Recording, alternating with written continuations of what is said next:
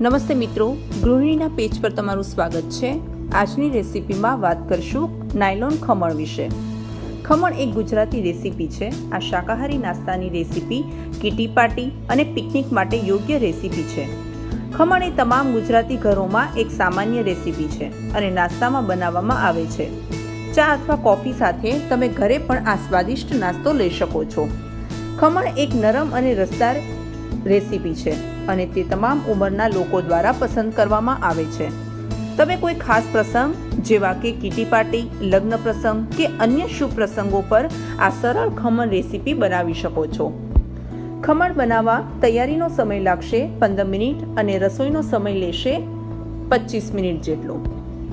ખમણ બનાવવાની સામગ્રીમાં વાત કરીએ તો તેમાં એક કપ ચણાનો લોટ, દોઢ ચમચી રવો એક ચમચી આદુ મરચાંની પેસ્ટ, અડધી ચમચી લીંબુના ફૂલ, સ્વાદ માટે મીઠું, એક ચમચી તેલ થ્રી ફોર્થ કપ પાણી અને બે ચમચી ઈનો.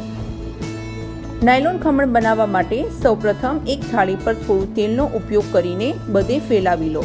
સ્ટીમરમાં એક ગ્લાસ પાણી મૂકી ગરમ થવા દો.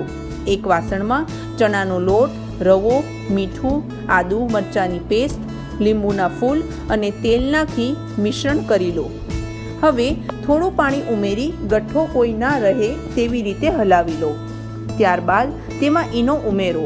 તેના પર પાણીના થોડા ટીપા છંટકાવ કરો, એટલે તેમાં પરપોટા આવવાનું ચાલુ થશે હવે ખમણ બનાવવાની થાળી પર આ મિશ્રણ તુરંત રેડો.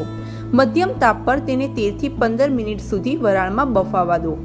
ડીશને ચપ્પાની મદદથી તપાસો. જો તે સ્વચ્છ બહાર આવે છે, તો તે તૈયાર છે. તેને સ્ટીમરમાંથી કાઢી લો. એક કે બે મિનિટ સુધી ઠંડુ થવા દઈ તેને ચોરસ કાપો. આ તૈયાર થયેલ ખમણ પર તેલ, રાઈ, ખાંડનું પાણી, મીઠા લીમડાના પાંદડા, એને વઘાર કરી સારી રીતે નાખી બધે ફેલાવી દો. મિત્રો, તૈયાર છે નાયલોન ખમણ.